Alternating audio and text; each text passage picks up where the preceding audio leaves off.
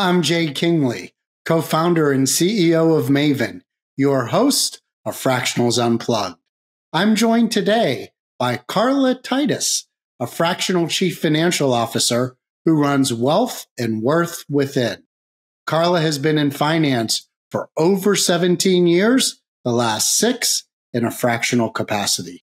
Carla focuses on established businesses, typically with five to 10 employees and seven to eight figures in revenue, and often in healthcare, legal, HR, interior design, and e-commerce, retail, and consumer goods. Carla is based in Portland, Oregon. Welcome, Carla.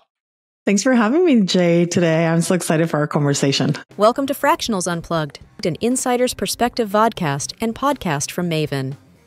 You've left the corporate executive world to build your own business to secure your income, savor your independence, and succeed on your terms. But you have to get past the struggles of acquiring clients, building a pipeline, and getting paid what you're worth. In this podcast, Jay Kingley, the CEO of Maven, and his guests share their best practices, tips, and tricks on how you can get out of Struggle City and into Success City and beyond. Enjoy today's episode. Carla, I'm the CEO of a $4 million revenue law practice.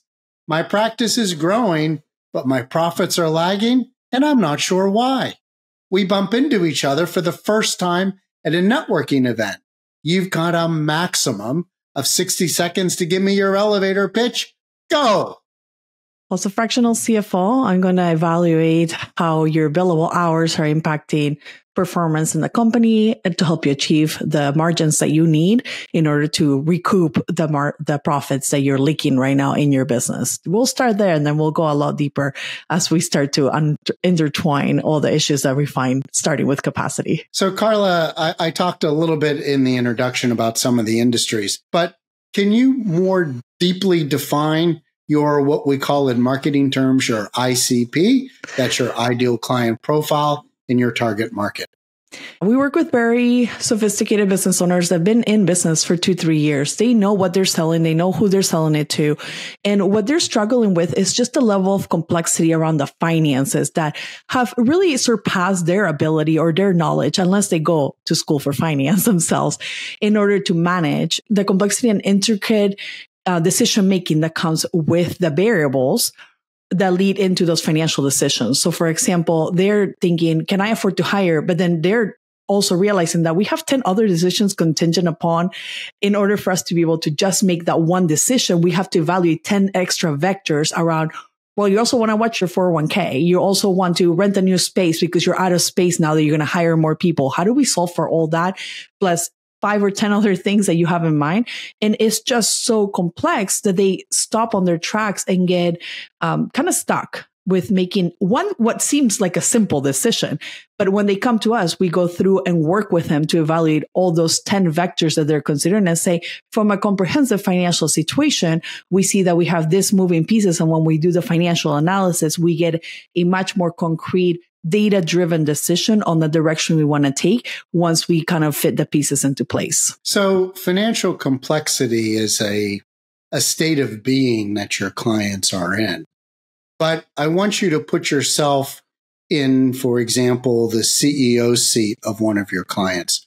What are the pain points that they are looking to resolve? They know that they're growing and that that growth is escaping kind of their ability to control it. And so they're lacking that control over what's happening in the business financially.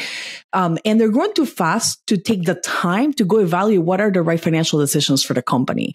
And so they keep procrastinating on that. They get frustrated. They look at their current accounting and bookkeeping team and they say, why isn't anyone advising me?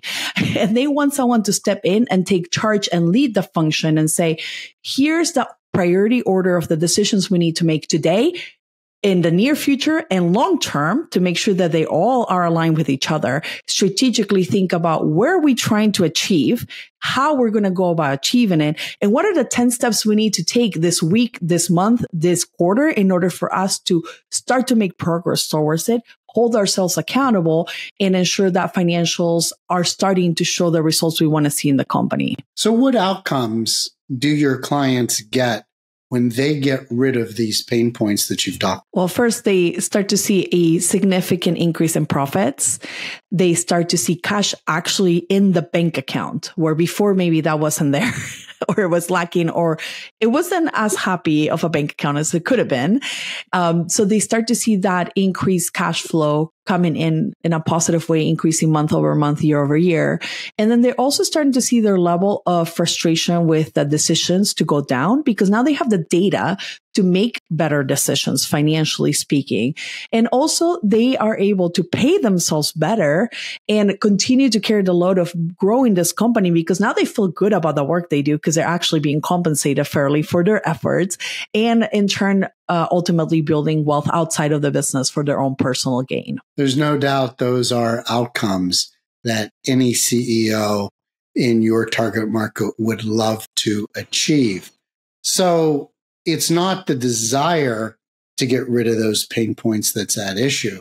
So why are they struggling to get rid of that pain and to get the outcomes that they really want?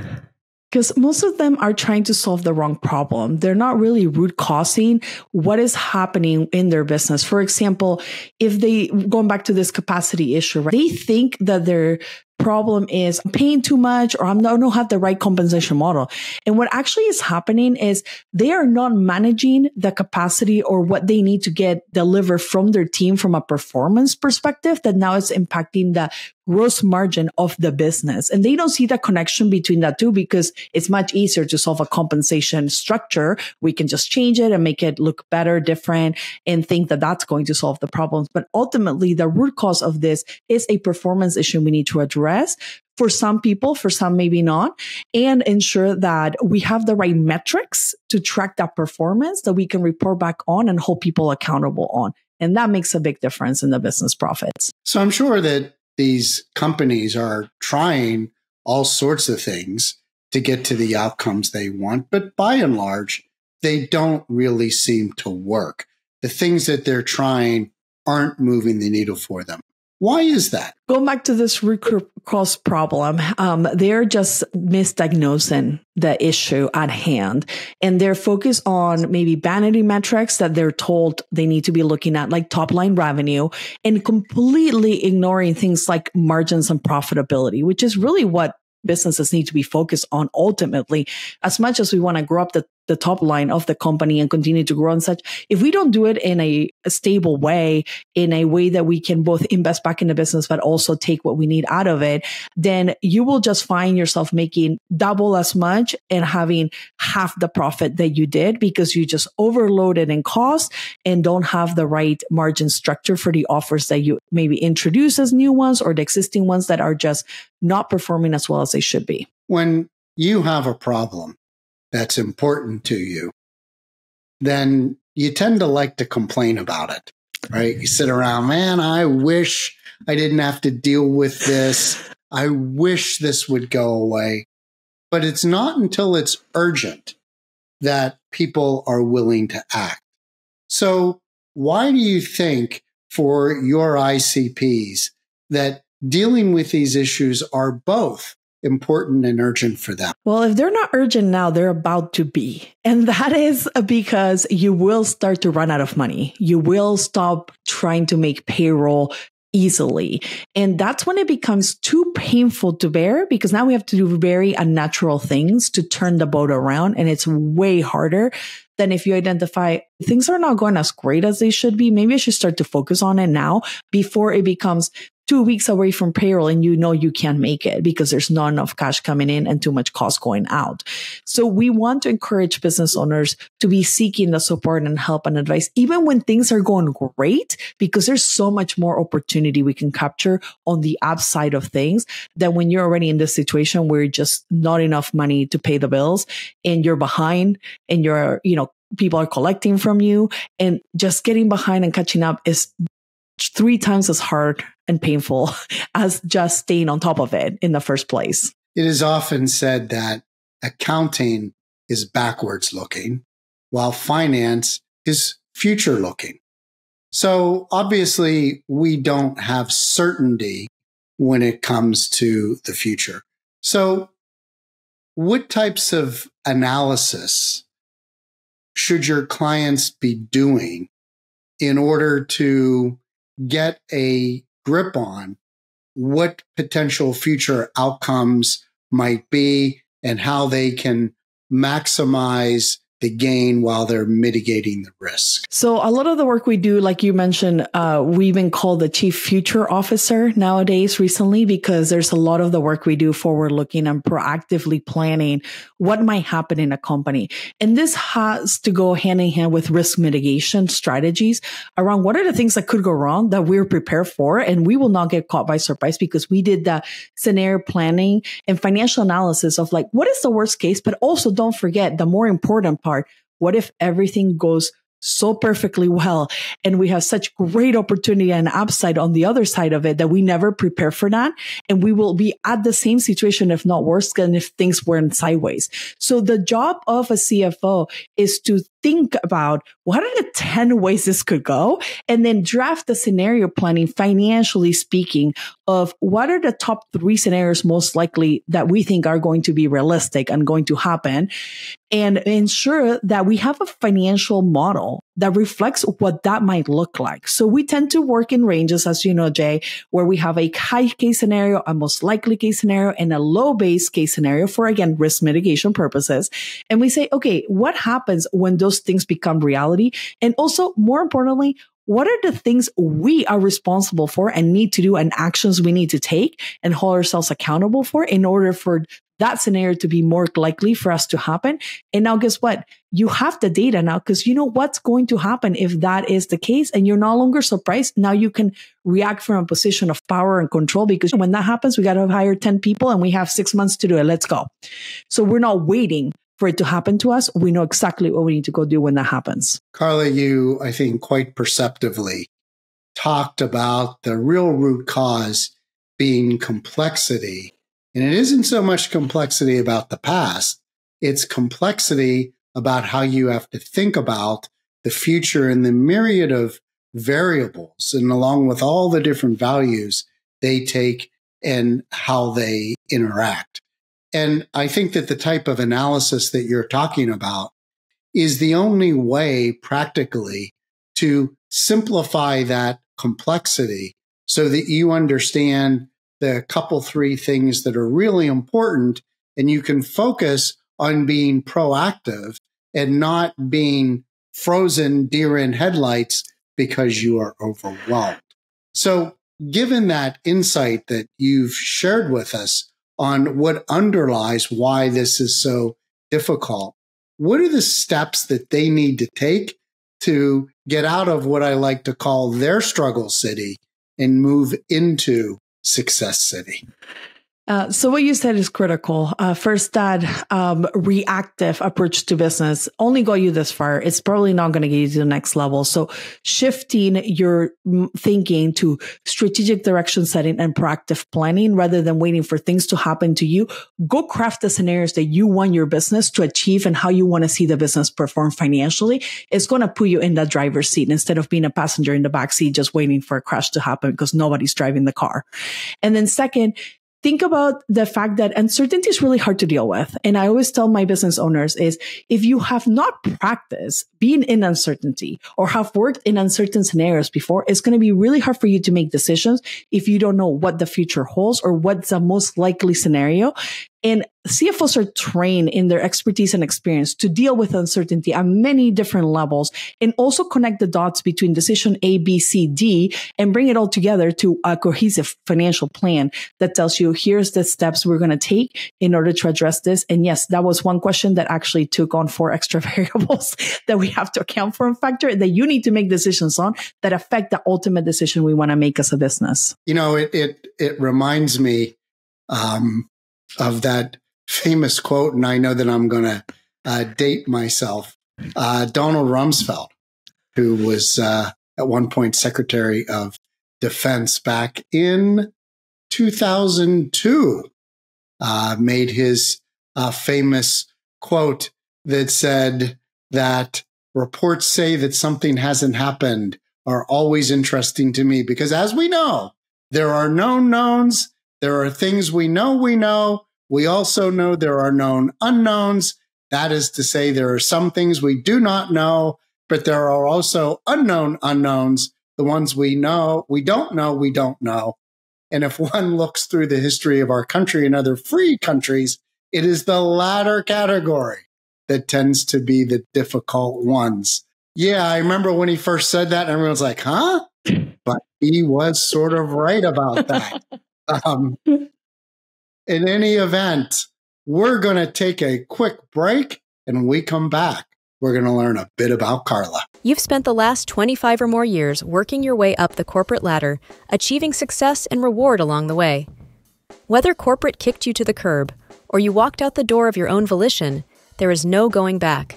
You're nowhere close to retiring, so you're moving on to your second act as a fractional executive. You're feeling the thrill of freedom mixed with the dread of the unknown. You're not alone.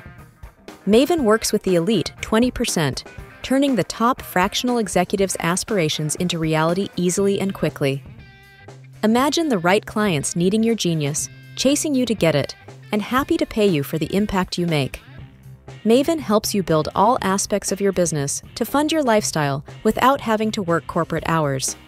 With Maven, market yourself easily, select your clients with purpose, and build a business that leverages your genius on your terms, not on someone else's. Reach out to Jay at jay.kingley at referabilitymaven.com. Transform your expertise into a prosperous business where you'll make the impact you want with all the freedom, flexibility, and control that you've earned. Welcome back. We're talking to Carla Titus, a fractional chief finance officer focused on companies making seven to eight figures in revenue.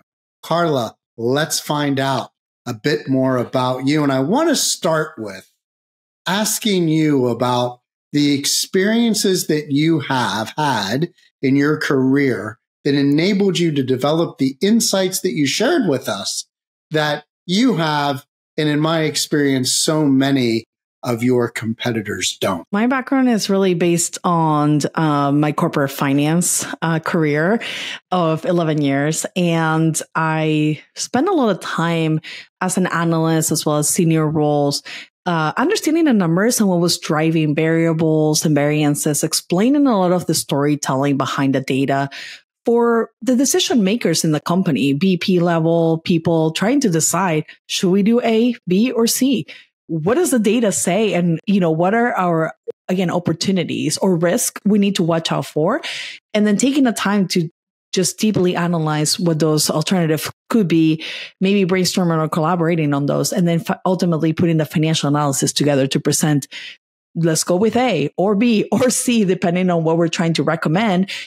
Taking into account the strategic direction of the company and obviously the goals that we have for the organization that we're supporting and also a budget in mind because, you know, we have to manage to our budget as well and make sure that we're making those best decisions with the data we had really helped me kind of gain that big understanding on like the function that a finance counterpart plays in the decision making of company goals and, and decisions that they have to make to make the company achieve their goals, make sure that we're tracking to the right KPIs, and then developing that sense of, you know, consultative advisory uh, partnership that came with the organizations we support and making sure that we have access to the right information to make the right decisions. One of my favorite questions is to ask what happened in your life, could be personal, could be professional, that most explains why you're doing what you do today. Well, I definitely have a passion for knowledge around finances. And that started really young in my life. Actually, I have a mom who's an accountant. And so we talked a lot about budgets and we did a lot of math in our house and we had to know our stuff when it came to numbers. So this was just the normal everyday life at home. And I took a lot of um, pleasure in knowing that I was really good at math. Like, obviously, came with the territory of having a mom as an accountant. we did a lot of math around home, and we had really high expectations on what we needed to do. And then also, I really enjoy like managing money and budgeting and allocating to the right places, being prepared for opportunities for my own personal uh, decisions that I had to make. Because at the end of the day, we all know that everything that we do in life unfortunately reverse of our money or fortunately reverse of our money and it's how you see it and how you manage it that's really going to help you either get ahead in life or get behind at times, right? And so that lack of education really made me think that, oh my God, not everybody had access to an accountant mom at home talking about money all the time. And especially not business owners who are running businesses because they love what they do. They want to do more of it. They want to have all the impact they want to have. But guess what gets in the way of them? Money because they haven't learned it. They haven't managed it. They don't know how to control it. And there's this big gap on education lack of education or knowledge around money that I'm trying to close to empower more business owners to be in business longer, to really have that positive impact they want to have. And they can't have impact if they don't have money, Jay. Couldn't agree more. That's the lubricant that makes the world work. So, what's next for you over the coming 12 months? Well, we are actually growing and looking to impact more business owners with the support that we provide. Um, we do everything from bookkeeping professionally for companies that are growing, that are maybe struggling with their current support and need a little bit of an up level um, bookkeeping team on their side, as well as more fractional CFO um, consulting roles that we can support these growing businesses that are struggling with the decisions that we talked about or trying to make the decisions and not having access to the right analysis or data to make it. By partnering with them to be their fractional CFO because you and I know they don't need a full time person yet, but they definitely need the expertise and access and understanding of what the numbers are telling. So if we've got business owners who are listening in and are interested in starting a conversation with you, what is the best way for them to contact you? They can reach us on our website at wealthworthwithin.com. There's a contact tab where you can book a free call. Let's talk about if you're ready to hire a fractional CFO, how we might be able to meet your financial support needs. If you want to follow along, you're not ready to hire one yet, you can sign up for our newsletter. We put a lot of uh, thought leadership and things that we are helping our clients with and they're struggling with right now on that newsletter to share with you just a little bit more on how to close the gap around the struggles that you have in your business today and how you might be able to fix them. And if nothing else, follow us on social media at Wealth Worth Within. We're on LinkedIn, Facebook, and Instagram. We will put Carla's contact information in our show notes for both our podcast and our video. Carla, I want to thank you for being a guest on our Fractionals Unplugged show. Be sure to subscribe to both our podcasts on all the major platforms and our YouTube channel for our videos. Until next time, make an impact on your clients and family on your terms, securing your independence with the freedom, flexibility, and control that you've earned.